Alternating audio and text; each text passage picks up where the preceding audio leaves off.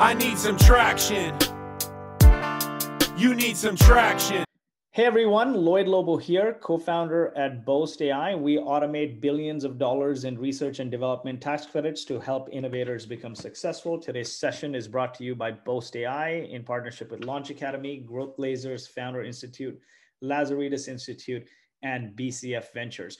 So I'm, I'm really excited about this topic today because it talks about outcomes and exits. And you know, I've been a founder a couple of times. I've been a part of a few venture-backed companies and the media has us believe that the only path to success is raising lots of money, hyper growing, and then either going cash or crash, IPO, exit, or fail. But that's okay for a small subset of companies, but it doesn't apply to the vast majority of software companies and SaaS companies that are creating value, vast majority of innovators. And uh, I've seen this. I've been a part of companies funded by PE. I've been a part of companies funded by VC. I've been a part of now Boast is Bootstrap. We just raise money. And, and you know what happens is as founders, we tend to take care of ourselves last, right? We think about the business, the business, the growth, the big vision, the mission, the movement, the madness. Our families become collateral damage. And a while ago, I talked to this great founder called Jaffer, who was the founder of Loopio. He talked about think about what your personal definition of success is how much money you want to have in the bank account and i want to i want to sort of read them off as we go along but he, but he said was as a founder think about how long you want to run the business for is there a version of the company that you don't want to run and how much money do you want to see in your bank account what, what is your personal definition of success but the thing is when the media skews personal definition of success with hyper growing and raising hundreds of millions of dollars with given the market right now everyone is thinking, oh man, I just got to raise lots of money. I got to go on this hamster wheel, hyper grow, and then go cash or crash. And Bart, my good friend Bart Macdonald here, he's the founder of Bloom Ventures, one of the experts in the acquisition, PE, and investing space. I wanted to bring him here to tell us everything about alternate paths to acquisition and exits for founders. And um, I've had a good relationship with Bart over the last uh, couple years. I'm also an investor in one of Bloom Ventures companies as an LP in their uh, SPV in their fund. So Bart, welcome to Traction. Thanks for joining us. Lloyd, thanks so much for having me. It's a, it's a real pleasure to be here today. Thank you. Awesome. And you've got a decade of success leading venture backed software businesses as a founder, CEO, other exec roles, and then also leading turnaround efforts for a lower mid market technology private equity firm. Give us your backstory, man. How did you get to where you are today? Yeah, thanks. I think, I think it's you know, always important to uh, to start out that you know very much came from the operator background, just like yourself, Lloyd, and I assume a lot of the folks uh, dialing in and, and kind of you know watching this this cast here on on, on Traction. So, you know, kind of wind, winding back a, well, a couple of years. So I grew up personally grew up in in Sydney, Australia. Um, and what was really, I guess, unique for my upbringing was that I was surrounded by a, a family full of entrepreneurs. So uh, I guess dinner dinner time conversations was always pretty spirited conversations listening to you know, my, my, parents' different business ventures and, and adventures. And I really, at an early age, came to know two things. One, that I, I wanted to be a, a, builder, an entrepreneur, an operator, a CEO. Um, and I really wanted to be doing that, you know, on, on the internet. And I also quickly realized that I, I wasn't the sort of guy to be uh, to be building consumer facing apps. You know, the, the, the TikTok, the Clubhouse, that wasn't me. I, I kind of found that, I guess, you know, a lot of people think entrepreneurs are just massive risk takers, and I, I don't actually quite agree with that. And it's probably going to come out as a theme throughout the conversation today. I think it's all around calculated risk or, or kind of stacking the odds to have the lowest amount of risk and the highest amount of you know, success or, or ROI on time, dollars spent. So I always thought, look, actually going into enterprise software, you know, there's kind of uh, dedicated budgets, there's a you know, significant problem that can be communicated and kind of have that pairing between a problem within an enterprise and, and, a, and a solution in terms of a technology product. And so started very early in my career uh, going into enterprise software, uh, building both bootstrapped and, and then ultimately investor-backed businesses from a young age. And almost six years ago now, after working for a US headquartered uh, startup all throughout Asia Pacific, I guess fell fell uh, you know victim to the the SF startup bug, and so moved out to San Francisco quite uh, stereotypically with a, a backpack and, and, a dream and, and, not much more. And over the next four years, you know, just had the most wild roller coaster and just an incredible personal and professional journey. Uh, being in that, I guess, the, the SF startup movie, starting a company with uh, one of my best friends from, from back in Australia, who's also out in San Francisco, building an amazing product and, and company and community, and, and of course be backed by world-class investors like Gradient, who's uh, the early stage fund out, coming out of Google and other very prominent angels. And um, you know, at that point, we're also very fortunate to go through uh, a successful exit and, and an acquisition um, coming out of that business. And so, as I kind of proverbially took some time on the beach after that next exit, you know, I kind of worked out for, for me, you know, I'd been exposed to starting to do a, lot more investing, and I really loved the opportunity to be involved in not just one company, but to be involved in building many companies concurrently. Uh, but I also loved my experience and, and sort of skill set as a, a builder and an innovator. so I was kind of, I guess, faced with a, a crossroads. You know, one was either continue going down and building other software companies. And I knew there was a lot of risk in kind of that zero to one phase, kind of on that you know zero to ten point journey of idea to exit. And obviously, a lot of the risk is all in that zero to one phase where you're trying to find you know, customer validation. I think Lloyd, you and I have spoken offline about this several times around you know, various entrepreneurial journeys we've had where it's taken six, 12 months even to get product market fit or what you think is product market fit, but it's really a, a mirage, an oasis, and you have to kind of shut the business down. And so I, I started thinking, hang on, you know, we're seeing a, a lot of things happening in the market. Um, you know, on, on one side, we, we really believe that SaaS is still in its first innings and there's this rising tide. Like it's never been easier today to start a software company. Compared to the cost, the difficulty, the amount of experts that are out there on the talent side, even 10 years ago, it's far easier today. So there's kind of this rising supply line.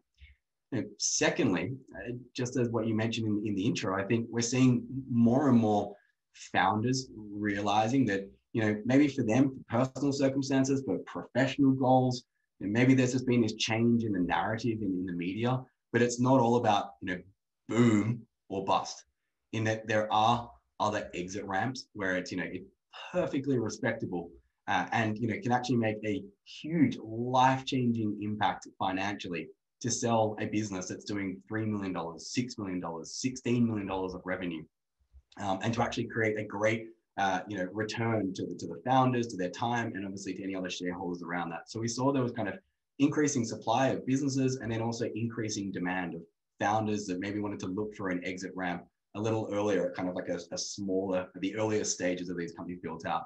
And then personally, I, I started really shifting from being a full-time operator to then operating and investing and you know, really got bitten by the bug of, of investing uh, as well. And so there were those kind of three personal inflection points which allowed us to start Bloom uh, now a couple of years ago.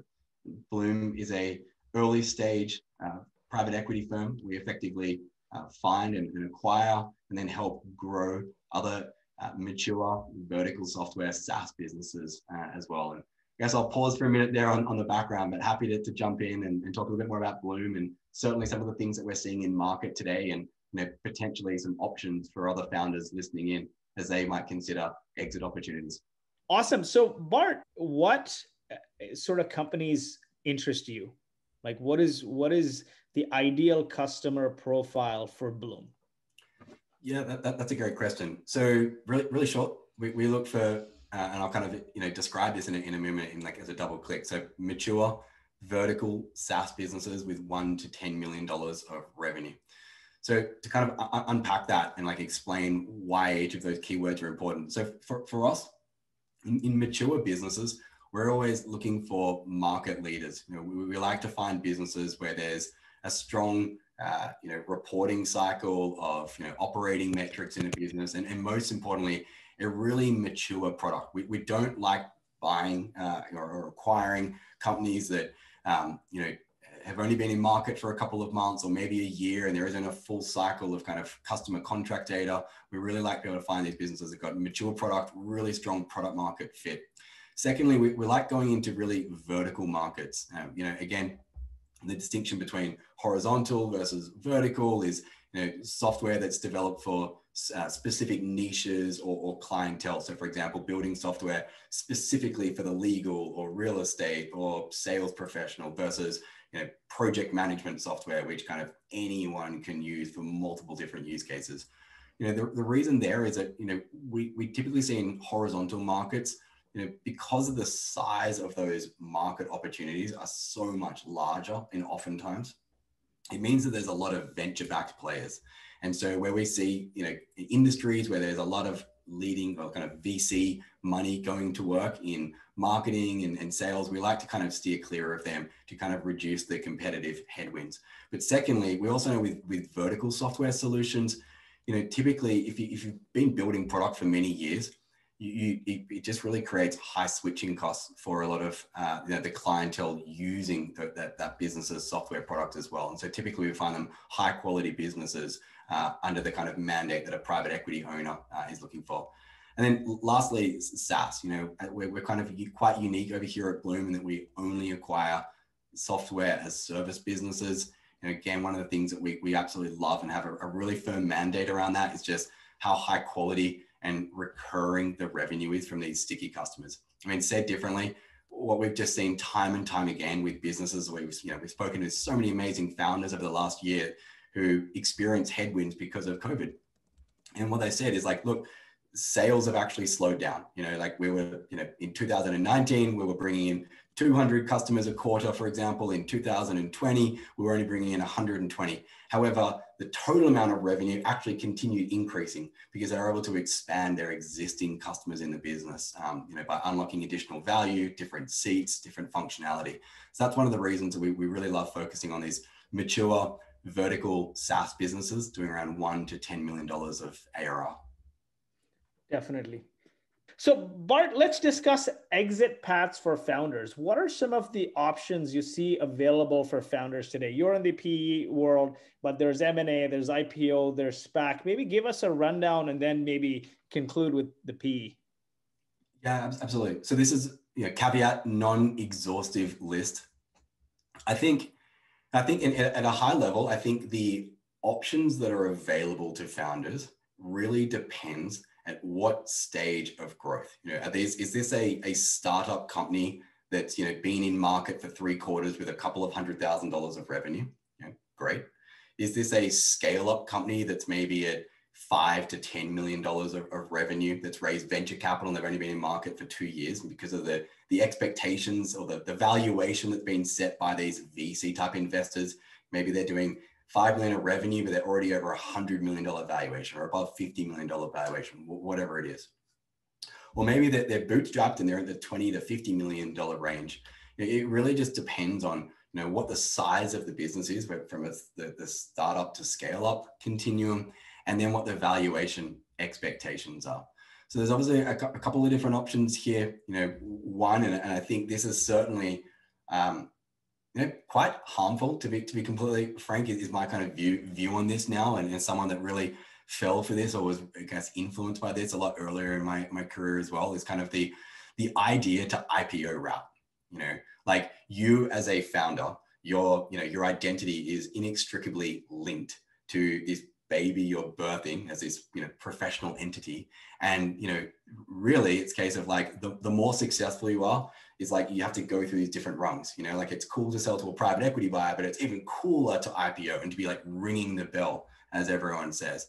And so some of those those options you know, obviously here in the united states you've got different exchanges like the new york stock exchange or the nasdaq exchange. I won't kind of go into the differences but one thing that I've been fascinated to learn more about, and I think again, Lloyd, we actually share some some friends in in in common here is understanding that there are actually different types of public listing exchanges. So, you know, actually up in, in, Canada, the TSX or the Toronto Stock Exchange, they have a, a junior arm called the, the TSXV, which is the, the Toronto Venture Exchange. Um, that's kind of similar to the OTC or over the counter exchange here in the United States. You know, Australia has something similar, with the ASX. I think the Frank, Frankfurt in Germany has a similar exchange.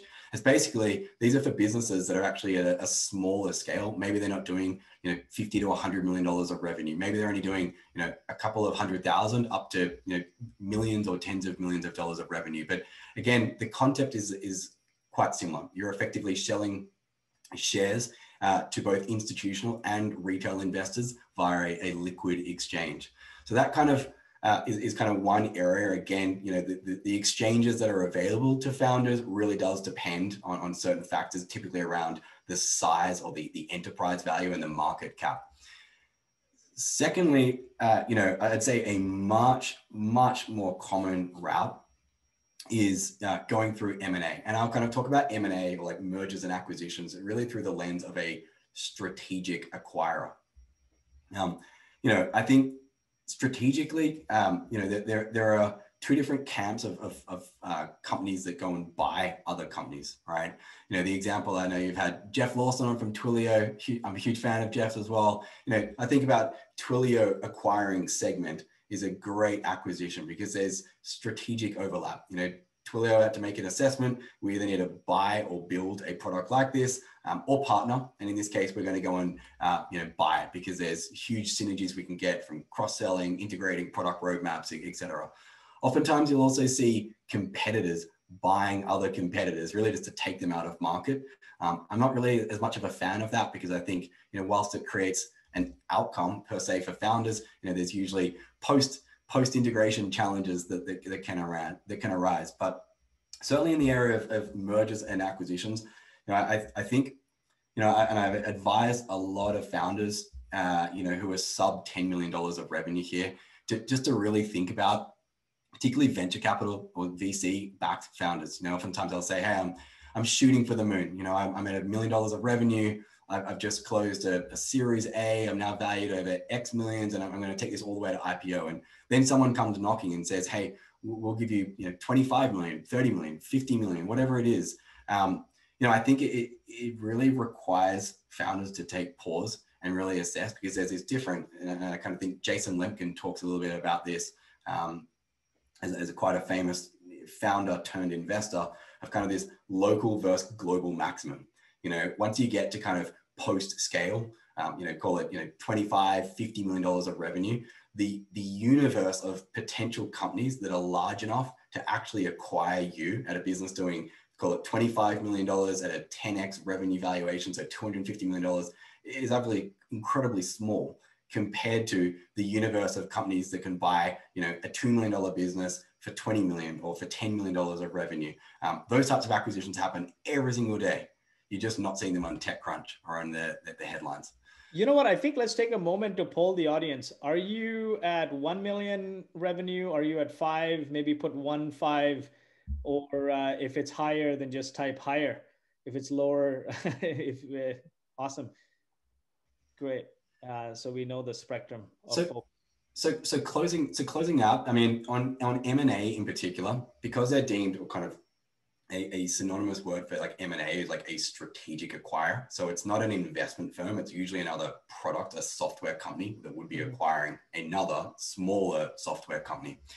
The reason they do that is there's usually some sort of strategic imperative or a strategic initiative or unlock. You know, um, you know, where Twilio, we want to be able to have data piping and all the analytics that come from Segment. It's going to cost us how many tens, hundreds of millions of dollars and the time to be able to have that product in market. Let's just go and buy them. And so because of the assessment they make, typically the, the, the multiples or the valuation that a strategic acquirer would pay up for a um, in, in, sort of purchasing another entity would be a lot higher than other forms of, of an exit, which I'll come to next, which is, is kind of the world of, of private equity. And private equity are more corporate or financial buyers. They're typically buying you know, businesses as a, as a standalone to say, hey, I'm, you know, I've, I've made a, a created a thesis that you know, with COVID, I think there are going to be certain industries that are, are major benefactors of, you know, work from home. And so, as, as an example of that, it, it's kind of, you know, sales software for re- remote sales workers in, in the kind of knowledge-based industry. So they create this thesis around kind of an industry and what's the tailwind behind it, and then they'll go looking for businesses within that industry. Um, but as a result, you know, tip, some private equity firms aren't as kind of operationally e- enabled. And so they really just make a, a, an investment decision purely off a model, off a, off a spreadsheet of kind of, you know, just one plus one equal two here. Um, and as a result, you know, the, the, way that they need to make their numbers work is that the, the exit um, and the outcomes for founders can be slightly less. Um, and that, that's something that I think has been really shrouded in, in, the industry for a long time. But again, happy to talk a, a lot more about that one thing that is is really exciting to, to hear and something that we identified a couple of years ago is that going back even you know five ten years back you know saas was still software as a service recurring revenue business was still very much in its infancy you know, you know compared to how prolific it is and accepted um, as, a, as a business model today and financial buyers you know typically didn't buy software companies you know below 10 million dollars of revenue or a certain level of ebitda or kind of profit in inside of a business. And something that we've seen is just a major shift that's happened in the last couple of years is as investors have now really started to appreciate how high quality these SaaS or software businesses are, the quality of, of, of revenue is kind of almost annuities. Um, that, that they actually now have started coming down and saying, you know what, if you have a business that's even a million dollars of revenue, you know, even less than that, we'll actually start acquiring them. And I think there's, you know, examples of brokers or investment bankers that are now focusing on smaller and smaller companies, you know, um, marketplaces online like microacquire.com and, and others that are now, you know, in, enabling and empowering um, founders, you know, kind of sellers as the founders to connect directly with buyers themselves and, and sell software businesses, you know, at, at scales such as 25, $50,000 of revenue. So it really has been this pretty incredible change that we've seen in the market in the last few years. Awesome. So we got a range of folks, right? Folks from 1 million to I, I saw folks here with 20 million plus in revenue. Uh, and there's a lot of questions, and we had that in, in, uh, in our track as well. Is like, how do you think about multiples that you expect from PE versus strategic buyers? Now, uh, walk us through that, like the multiple game, but also what sort of metrics command those multiples, right? Like, what what are you seeing sort of uh, at different multiple levels? What sort of metrics are you seeing from a ARR perspective, from a month over month growth, from a customer acquisition cost, churn? Like you had some ideas of what is the ideal fit, and then how do those differ PE versus strategic buyers? Yeah, so you know, there's, there's kind of a couple couple of ways to to slice that. Um, you know, st- strategic buyers, the way that they create a model which then computes or spits out the kind of multiple that they will pay up or the valuation for a business, they, they have to run fundamentally like a, a different um, mathematical analysis. And, and that really, really just comes down to like, do we buy, build, or partner? You know, I'm going to you know, maybe fairly unfairly kind of go keep going back to the example of like Twilio versus Segment, right? This is this is a company that you know would in order to to build that product, build that kind of sales enablement machinery um, for, for Twilio in house would just take far too long and cost far too much potentially. And so their analysis was, hey, we actually need to go out and it makes sense for acquiring. Now, there's probably two things. One is really like what the absolute amount of revenue is. So, you know, what the actual size of the company. You're going to get a different valuation for a company that's, you know, a million dollars of revenue growing 25% month on month, but that was started a year ago versus a business that's doing, you know, over a hundred million dollars of revenue. You know, you're really looking at the scale and the maturity of um, and the professionalization of the entire organization there. And so that's where it's, it's kind of not uncommon to see, you know, valuations of some of these post scale technology businesses being acquired in the 10, 20, even 30x forward revenue forecasts. And how do you define forward? What is forward? Is forward 12 months or is forward two years? Again, it, it, it depends. I mean, that would come down to kind of negotiation by negotiation, but it's it's not uncommon to kind of have a look. Here's a forecast of where you know we're in middle of 2021. Uh, here's a forecast what we think we're going to be printing up to December uh, 31, 2022, and we want a multiple of, that. Um, that's you know definitely seeing more and more of that again as acquirers are, are realizing just how valuable um, the, these software entities can, can become.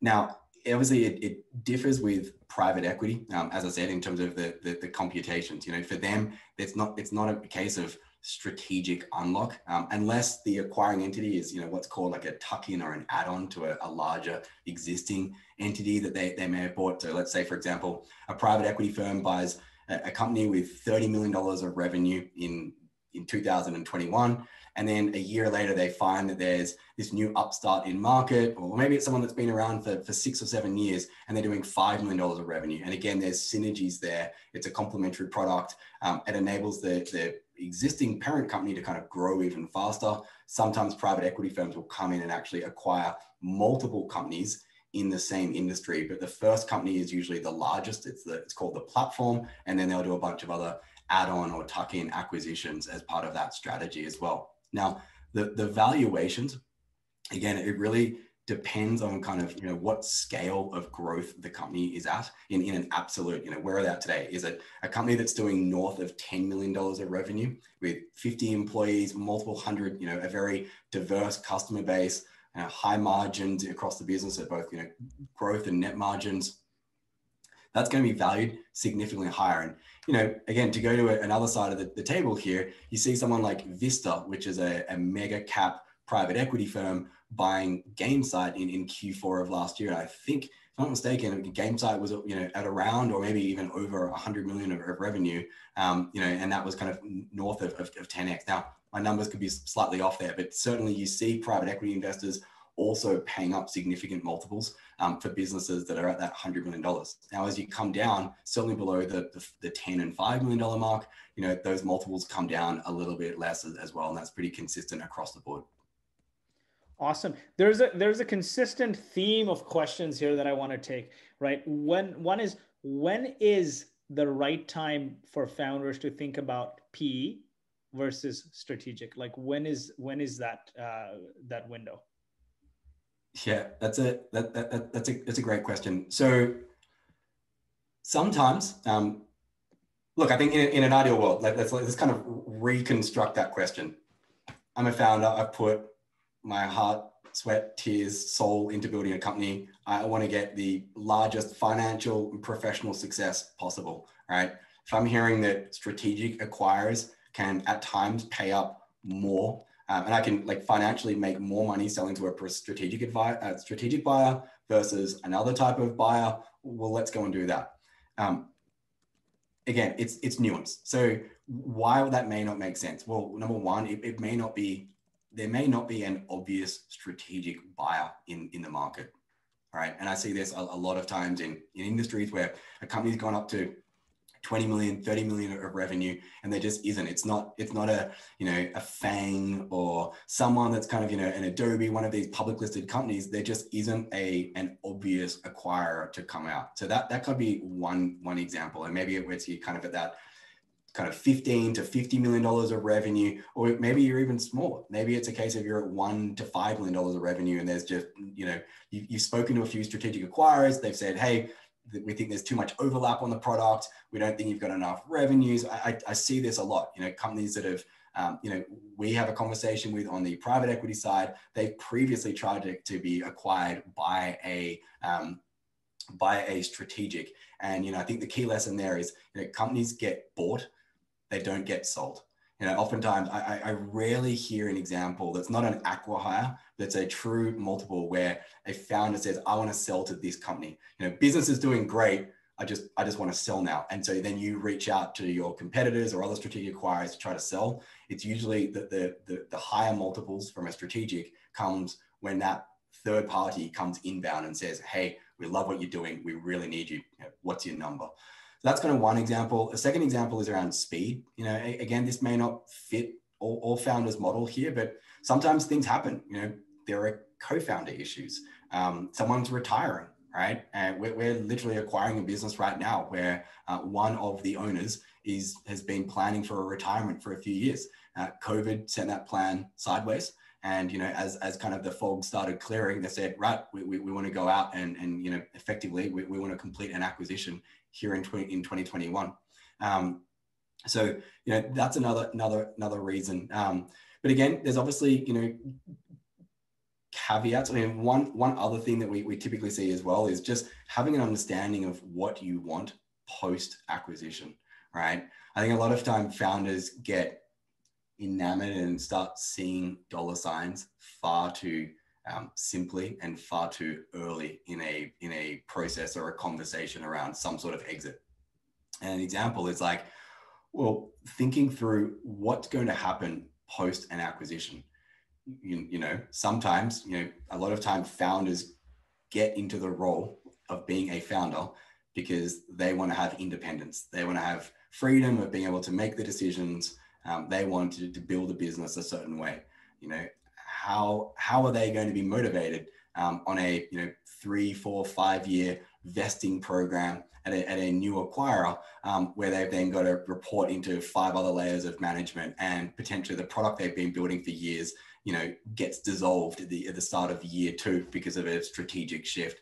There are also some of the reasons to consider um, around you know both the, the pros and cons of a, of a strategic acquisition Definitely, and then there's this whole layer of uh, of sort of growth equity that's coming um, into play, right? Where you sort of don't sell the majority, at the same time you're not raising for a hyper grow that that you're probably not fit for a traditional Silicon Valley VC, but you have good unit economics, you have good business principles, and you raise from growth equity. Tell us about that. What are your thoughts there?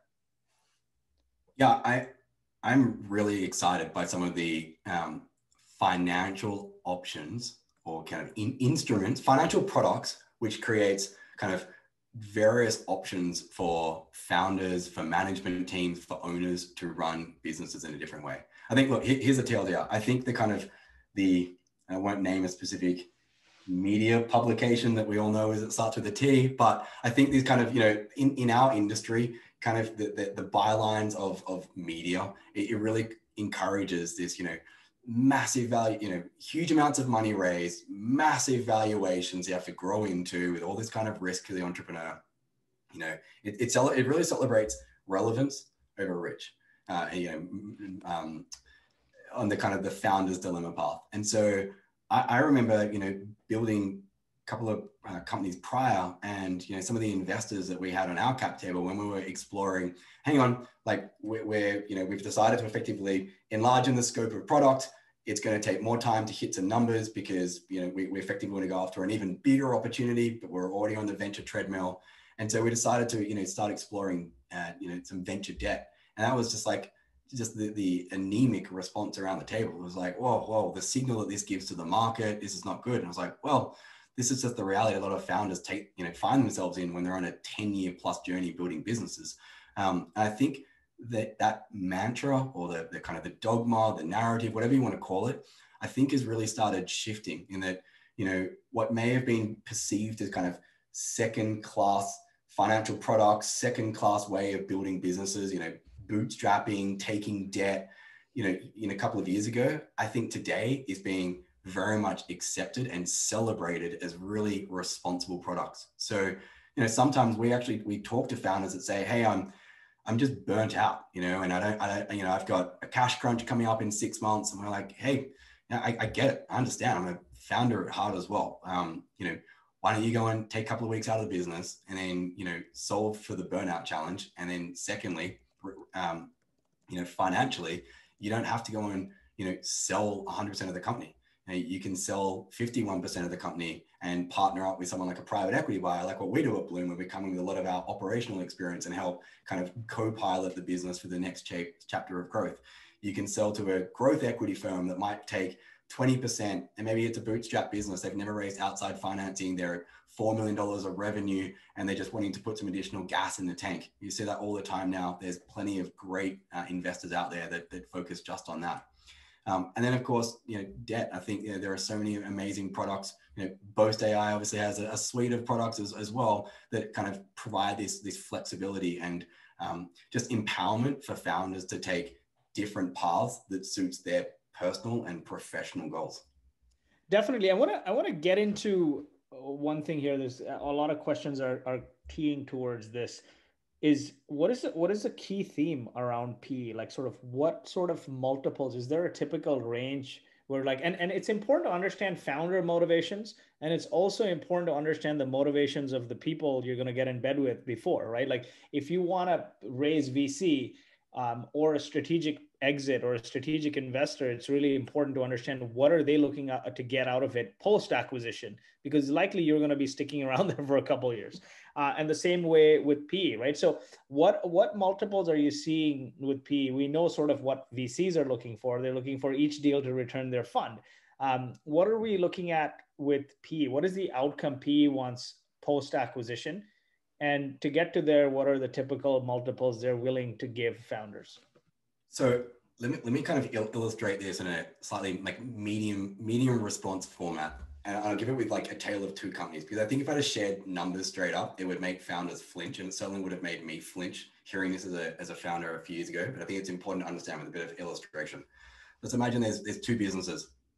Business A is doing let's call it a, a million and a half of, of revenue. Um, they've raised a little bit of venture capital. There's four or five employees in the business, maybe 30 customers. Um, metrics are, are okay. Um, and you know, ultimately, one of the founders has decided they want to go to the next thing. You know, they, they got a job opportunity elsewhere. They want to go start their next business. What happens? Right? That's kind of business A. Business B is that there's a company that's doing $15 million of revenue, right? They're, they're growing consistently 75, 100% a year. Um, they've got a, an organizational chart with a really built out, experienced leadership management team, you know, deep bench of talent all throughout the organization.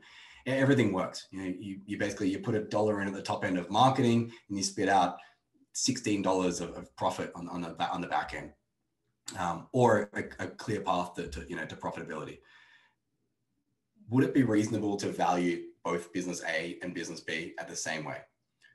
arguably investors would say no because one one business you know there, there's more kind of indicators there's more metrics that would say one business is you know higher quality today and in a year will continue being higher quality right and that's obviously going to be business b and so that's what i was saying earlier where you know multiples for kind of valuations which you know, valuations is typically it's a you know it's a multiple either revenue or a multiple of, of, of profit or, EBITDA, depending on how fast these businesses are growing.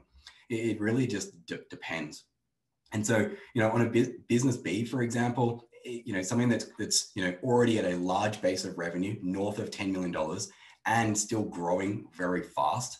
You know, if you keep multiplying that out in five years, if it keeps growing at seventy five percent, you know, year one, year two, year three, that, that's a business that's going to be extremely valuable five years on. And so those investors would be happy paying up. You know, we see in market today investors paying eight, 10, 12 times even, uh, even higher potentially on, on those types of businesses.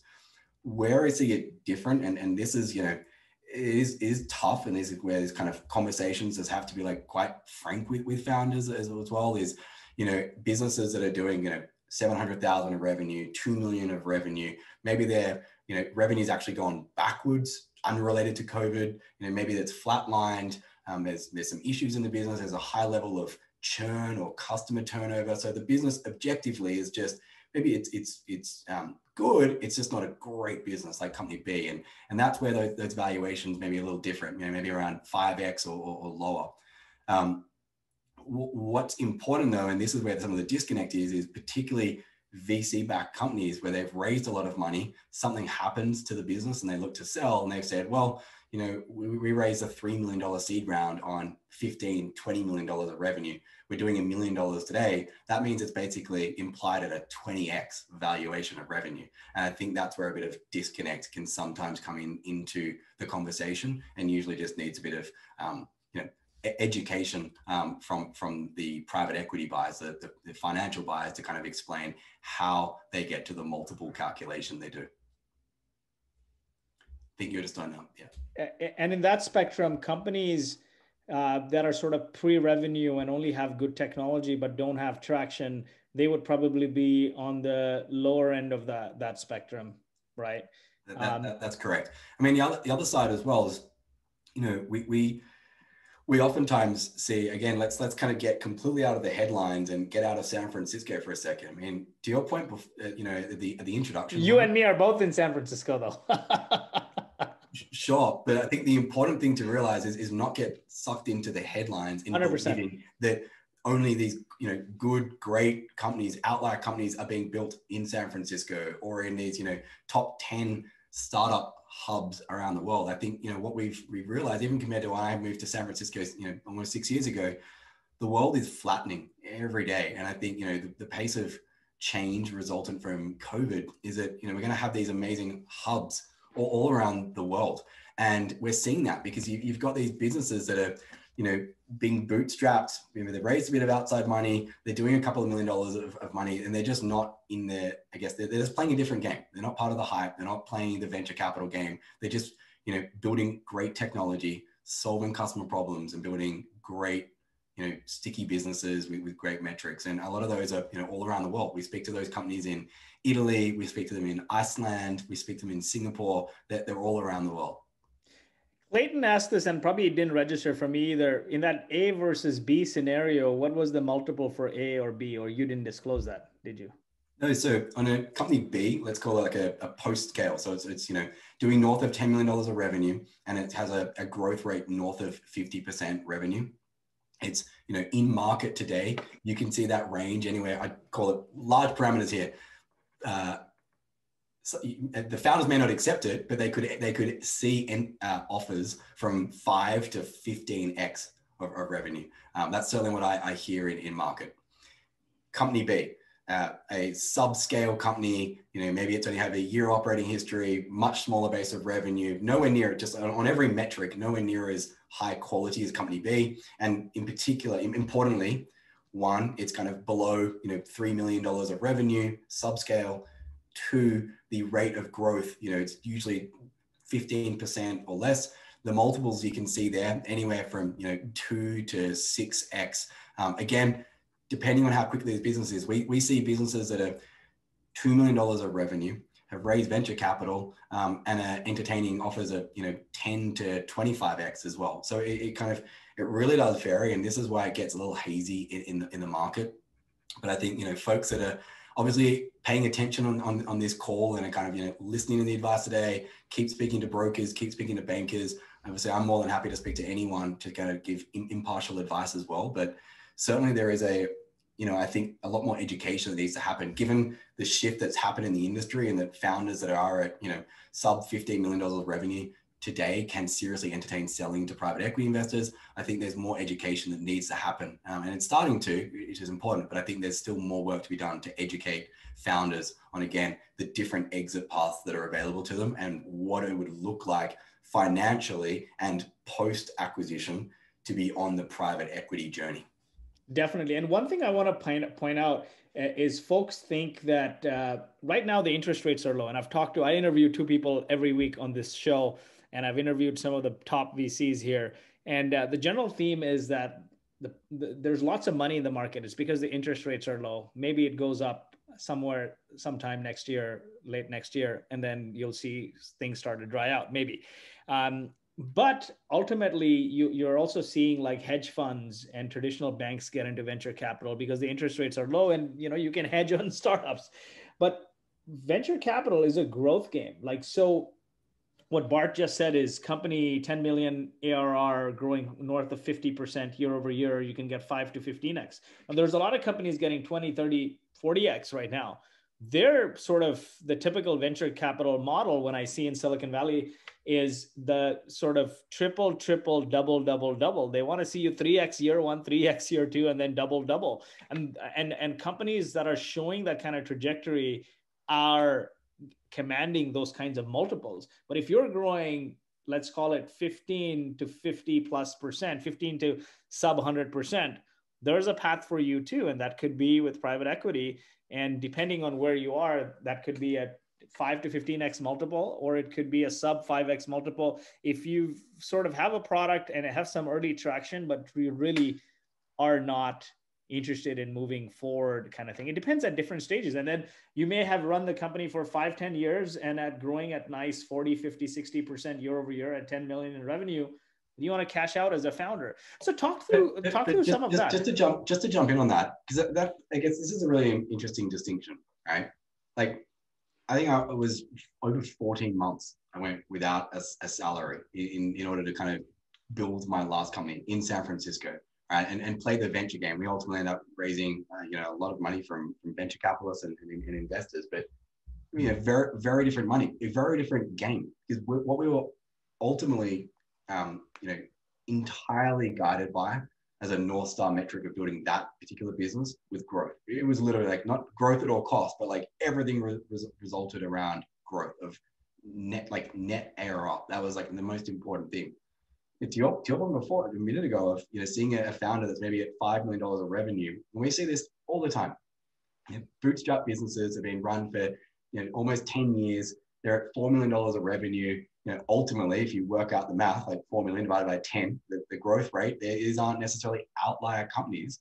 But you speak to the founder and they're like, hey, I, I get to work 35 hour weeks. Or maybe I, maybe I choose to work or I, I have to work 55 hour weeks, but I'm also taking half a million dollar salary or, you know, these are the perks. So I think oftentimes it's, it's you know, there, there's, there's trade-offs. And I think that's really where it comes down to kind of, you know, uh, growth businesses, which is playing the venture capital game versus, you know, cash flow, lifestyle, probably like bootstrap companies where the founder either isn't able to or isn't interested in raising venture capital. Two very different models of, of building businesses.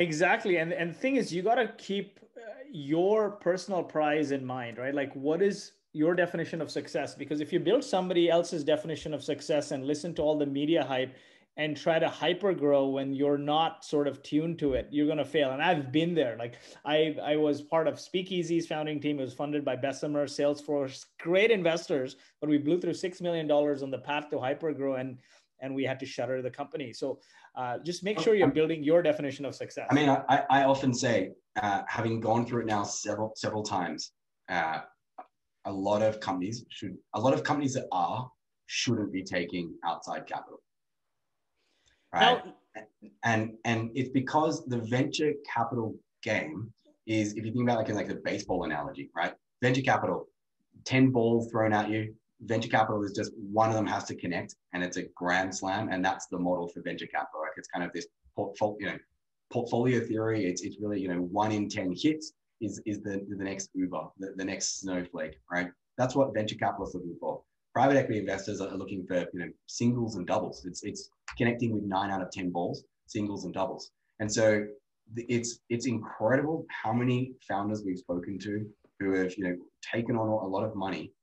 Something has then happened in the business. You know they, they think they have product market fit. They put their foot down. They're growing really aggressively. They typically they're, they're burning, so they're spending more money than they're making every month, or more money is going out than money is coming in and they, they say, oh my gosh, you've got four months of cash left. And, um, you know, my metrics are nowhere near at a point to be able to raise follow-on financing at a step-up valuation.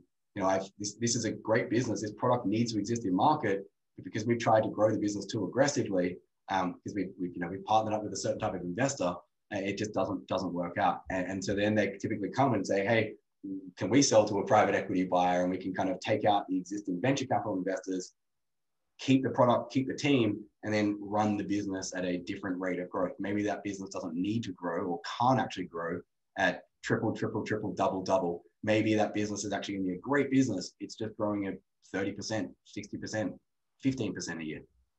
And then the PE firm might have a thesis around combining a bunch of these companies, like you talked about earlier. I want to take the last 10 minutes to process. Like, what does the process look like? What does the due diligence uh, look like? Is does profitability matter? I've I've seen like in the venture space, it's mostly growth, growth, growth.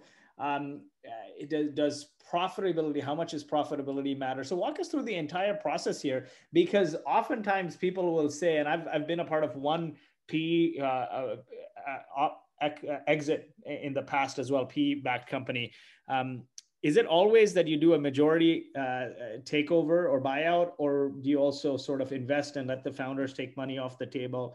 Like what is the process? What are the options um, is it a rectal exam like everyone puts it out there i know it's not because i've worked with you i know the kind of companies you back i know the founders you back that's why i invited you um, i think uh, no two firms are the same right and it's important to pick the right partner who cares about the vision uh, and also know the motivation, right? If you go in the VC, you know they want to triple, triple, double, double, double. You you know they want to each uh, they want each investment to return the fund. You know, with private equity, they're good with like singles and doubles. They want to sort of maybe three to five, three to six x their investment, and so they're not going to stress you to hyper grow. But maybe there are other things there. So walk us through that whole process.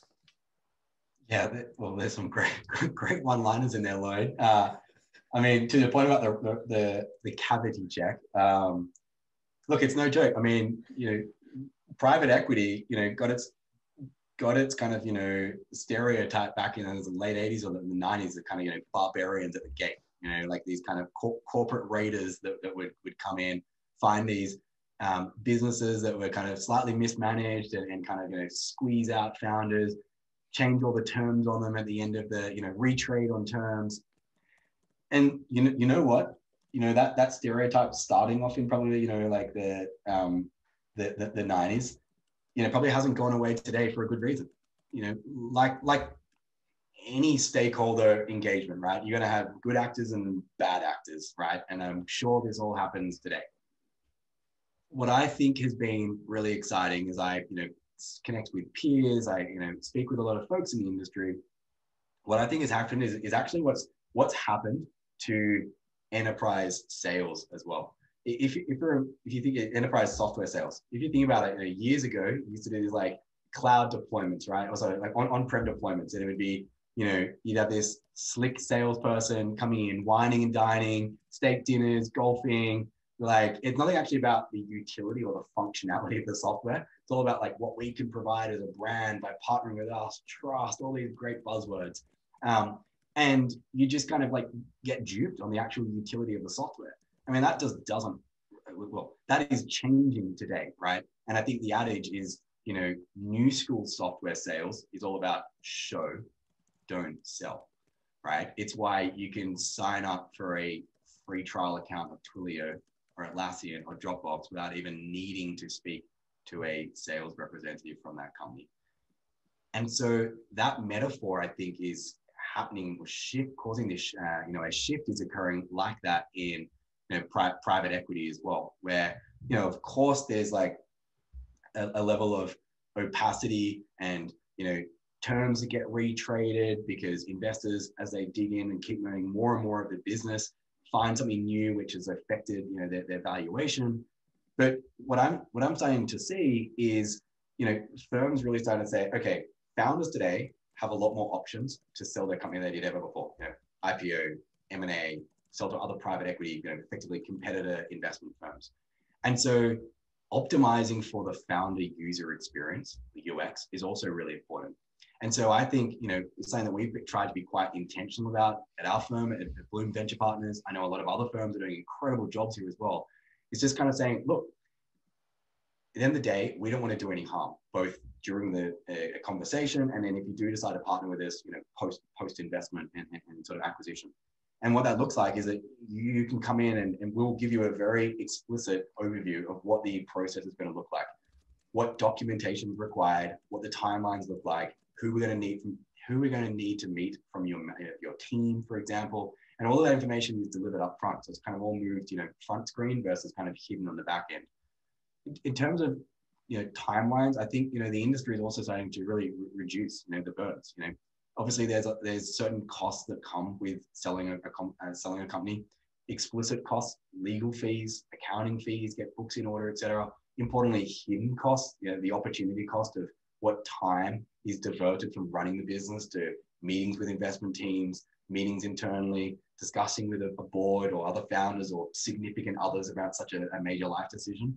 Um, but in terms of a, a, process, you know, usually you can kind of have you firms today, again, depending on how much diligence needs to happen, depending on the size of the business, but you know, you can move from, you know, within a couple of, of days, have a, an LOI or a, a letter of intent which basically outlines the, the headline terms of like what the structure of a, of a transaction, to then doing all the diligence, do due diligence within a couple of weeks, 30, 60 days, uh, all the legal docs, so kind of the asset or share purchase agreement, all finalized with respective buyer and seller legal teams, and then the actual close, meaning the actual wire is, uh, like the, the actual money is then transferred across all within 60 days. So I think it's you know it is exciting that these things are starting to move a, a lot faster and with a lot more transparency and visibility on the process. Definitely. Now, in terms of um, costs and artifacts, like say you meet a founder, uh, you like the business. At what point do you sign a term sheet? And then what is the first set of artifacts you request? and uh, and advice for founders on who should they who they should have by their side because a lot of founders i see they don't have a proper finance person. So they can't they're probably recognizing revenue cash based versus accrual based they're not doing revenue recognition process properly. They can't frame the business. So who do you recommend one at what point do you sign the term sheet? What are the immediate artifacts, the top three or five things you need to see? And what do you recommend founders, like who do you recommend they hire? Do they hire like a fractional CFO or a firm that specializes in putting this data room together? Um, like, so what are those top three there? Yeah. So mo- most importantly, look, I, I think there's nothing wrong. If look, if a founder wants to take a meeting, if an investor reaches out and a founder wants to take a, me- a meeting just to get a sense check of like, hey, what would the valuation be? You know, usually you can have a 30 minute conversation. Founder shares some high level information. If they're comfortable pre NDA or an NDA gets signed, they share some information across. The, the, the investment team can come back and say, really high level, like, you know, this is not a, a formal offer, but like high level, it's going to be between X and Y and then they can kind of, you know, the founder can decide if they want to dig on from there. And that happens a lot. Founders will say like, hey, I'm exploring options. I might go and raise debt. I'm speaking with a couple of banks. I might go and raise growth equity. You know what? Wildcard, why I'm here, let's just go and see whatever you like to actually sell the business right now because you know, I'm just in the information, I'm fact finding, right? There's no problem there if the founder wants to do that. I think where a lot of the issues come from is where a founder goes down the path and isn't actually 100% bought in with the concept of selling a business. And so they don't have a data room set up or easily in a position to get a data room set up. When I'm thinking about a data room here, this is basically an investment firm wants to come in and, you know, there's fundamentally an information asymmetry. A founder has probably been in this business since day one. They know every single decision. They know all the cobwebs. Let's be real. There's a lot of cobwebs, right? Everything's duct taped together. Churn, customers, security breaches, um, HR issues, whatever's going on. This is fine. It happens in every single business. But investors need to understand this before they're kind of underwriting an investment decision. So they'll come through and they'll, they'll want to get information like commercial information, legal information, um, IP, particularly around the, the, the, technology. You know, how scalable is it? How secure is it? You know, what's how you know, what what's the maintainability of the code base? Who touches it? All these types of questions, and, and that's where you can kind of go through extended due diligence we always recommend, you know, um, being prepared. It, it, it is just, it is gr- gruesome. Like you, you really need to spend like is selling a company like this is just, you can't half-ass it. You, you really need to be like two feet jumping in and, and getting ready to, um, you know, once you get to that point of like a signing a not like a binding letter of intent, you know, you basically got a 60 day, 30 day shot clock. It, it really is important to be like, and, and we see it all the time where there's maybe two founders who say, hey, one of the founders is literally going to be taken out of the business. You know, they don't necessarily need to tell all the employees, but like for all intents and purposes, they will be like preparing a lot of these documentation. And um, you know, I think that that that can be again the the amount of DD requests really depends based on buyers. You know, we always try to be really really light. We'll start light and then kind of dig in as we as we need to. Definitely. Now, how do you typically structure the deal, right? Like, how much do you pay up front and how much is deferred via earnouts? Yeah, great, great. question. A um, an earnout. So again, just a just a um, quick quick definitional uh, moment here. So earnouts is usually a structure where it's like you will get, um, or it's it, earnouts are typically performance based. So hey, we're selling the business on first of January. It's you know on the thirty first of January, it's doing five million dollars flat if the business hits $6 million on December 31, the next year you'll get a performance-based earnout. And then, you know, it can be based on revenue amounts, it can be based on um, churn numbers, it can be based on profit numbers, any different way that the business, you know, the investors are structuring it. We don't structure uh, businesses based on, on earnouts. What we do is we say, hey, there's going to be um, a cash cash amount um, we, we usually we would you know put some debt into a business. We, we fund it with equity up front. You know, amount goes directly to the founders to um, you know pay down existing debtors in the business. Um, any you know ESOP if there's come some sort of you know bonus plan for, for employees getting an exit. Um, then what we do, we you know sometimes we can we, we arrange if the founders say like, hey, we want to sell for X and X is like a little bit larger than, than, than our multiple. What we can say is okay, well we'll do um, uh, you know, effectively like a seller note, where this, the seller effectively loans to the business, and then uh, cash coming out of the business is then paid to the to the founders or to the sellers over a period of time. And it's not performance based; it's purely time based. So you see that quite a bit, where founders will say, "Okay, we'll we'll sell. You know, on day one, I get X dollars." And then maybe a certain amount has been held back in escrow for six months and then I'm going to get two more kind of payments over the next 24 months or the 24 months post close. that's pretty pretty common. We, we generally don't do earnouts or haven't done today. Okay, awesome. Uh, two questions. I know we're at the top of the hour here. Um, how much do you think founders should budget to spend uh, right? Like so you, you said some great things here. You you gave us a list of artifacts like everything from sort of getting commercial ready like from your ip your scalability your code base to all your financial metrics like you know get the revenue recognition right? Like show basically how do you get keep and grow customers in a predictable way if you can um, you've you've maybe hired a fractional CFO to help out get this data room together. I highly, highly, highly recommend it. If you don't have an in-house person who understands SaaS metrics and, and getting the finances in order, hire somebody fractional to, to do that. But then you also talked about 30 to 60 days, no shop clause, so this thing doesn't drag on. Now, what do you expect founders to spend in terms of legal fees through this process and just general fees? Ideally minimal as possible. Um, I mean, you know, we, have dealt with businesses where there's multiple subsidiaries in different locations around the world. So you're dealing with multiple sets of, of law firms. Obviously, bill, bills run up really quickly. You know, we, we typically are trying to keep it, you know, in the low tens of thousands of dollars. I've seen it run up well above $50,000, $100,000. That's where it gets quite complex. You, are bringing in specialist tax advisory firms for multinational transactions, um, you know, basically, again, it gets like it's the continuum of simple to complex. If it's a simple, pretty vanilla transaction for again a small business, um, so it's kind of a two by two. Like, what's the size of the business?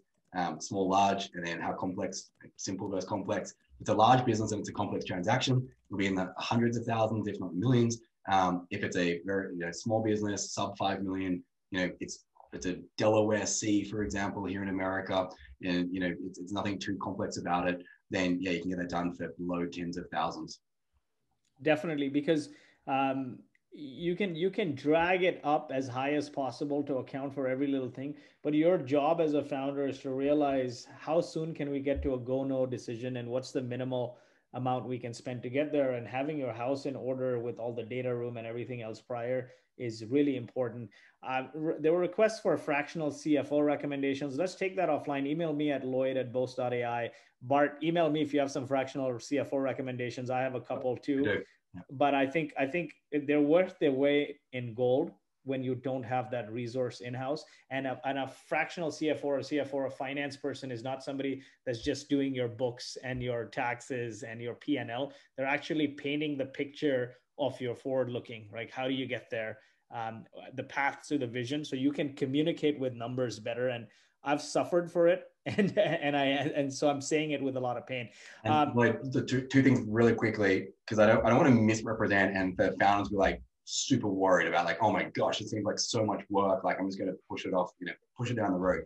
Two things. One, you could always partner up with an investment banker right, or mm-hmm. some sort of firm, they will, you know, effectively you're paying them a percentage fee. Maybe there's a retainer up front and or a, a success fee upon the successful acquisition. And what they then do is they have their team of analysts and financial uh, you know, professionals that come in. They would do a lot of this data room development and management for you, and then help connect your business out with potential buyers, um, like firms like Bloom, what we're doing, uh, we have relationships with tons of, of investment banks and various brokers um, representing you know, other software or technology founders. So that's one avenue. The second avenue is if you are just going to go direct, let's say you know, someone from our team reaches out and says, hey, let's have a chat. You're not going through and then being represented by a banker and paying them fees. You're doing it themselves. It's not a case of you don't need to you don't need to have everything ready on day one. You know, it's our job as the investment professionals to kind of coach and guide you through and say, you know, here's here's a list of 85, 120 things we're going to need. Here are the things to focus on in order. Let's just go through it. And we do, you know, every every basically every 48 hours, you're kind of on a call, just checking in on things. So definitely, um, you know, the goal is not not to make it really painful for, founders, but it's you know an inevitability when you're having that information asymmetry. And if it's a five-year-old business, there's obviously going to be a lot of data that needs to go through financial statements, employment contracts, customer contracts. Um, and obviously, a lot of that work is all borne by the investment professionals who are scurrying behind the scenes, trying to get up the curve and understand what a great business is being built and how we can be supporters in the next chapter. You know, I think one thing to think about is as founders, especially if you're bootstrap, you're always running with no end in sight, right? Sometimes you got to step back and think about, hey, if I spend 30 to 60 days, can I really figure out what my business is worth and how that creates a personal success for me? And I think it's important to do that as a founder. Sometimes. I think you can work out if you're looking if you're looking to just get a sense check of valuation. I think you can get that within 48 hours. Yeah. Um, it's usually like it's then the point if there's an agreed valuation to then go from like here's what we're offering you to then we need to do all the diligence and then write up formal legal documents that can then take 30 to 60 days so you don't need to go through 60 days just to understand what your business is valued at that can be pretty quick you know literally within 24 uh, 72 hours of first meeting because I'll give you an example, right? Let's say you don't do this, but you, you decide to raise venture capital and scale, and you bring all these execs. Those execs will also want to know your business, like what's in your head. Um, and, uh, and oftentimes, as capital efficient, bootstrapped, or founders who've raised very little money with not much board reporting, all this stuff is sitting in your head. It's just like, how do you bring this information out there? Um, so, you know, one, you got to def- de- define to close it out your personal definition of success. Get to an answer, yay, nay, quickly as possible. Maybe the first yay, nay is does the valuation make sense? And then two, do I want to go and spend this sort of effort uh, to get get this money and create this success for me. Um, bankers is a great one. I had I, I, didn't even think of that, but yes, bankers exist to make this easier. Um, do you have recommendations for bankers, or that's something you don't want to recommend, and we can take it offline? I, I do. It's very stage and industry specific. So anyone is welcome to, to hit me up. Um, I'm either on, on Twitter or on email. Um, at my Twitter alias is at Bart Macdonald, M A C D O N A L D. And then email is Bart at bloomvp.com. So Bart at bloomvp.com, which is for Bloom Bart, Partners. It's been such a great session, man. It was like an absolute ma- master class. It's past 10 minutes past top of the hour, and we still got 100 people sticking around. Thanks for being a great friend. Thanks for being a great partner. And uh, thank you for being just an awesome all around uh, investor, PE firm, supporter of the ecosystem. Thanks so much.